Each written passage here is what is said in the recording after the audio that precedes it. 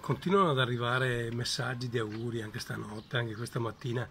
Eh, boh, io mi reputo davvero fortunatissimo ad avere questa valanga di affetto da parte vostra. Eh, boh, volevo solo ringraziarvi davvero di cuore e a nome di tutti gli auguri che mi sono arrivati eh, vi faccio vedere questo, di questa bimba di 5 anni. Eh, siamo io e lei con una torta meravigliosa e la candelina da spegnere. Ecco, con questo, con questo regalo speciale voglio ringraziarvi davvero tutti. Buona domenica. Grazie.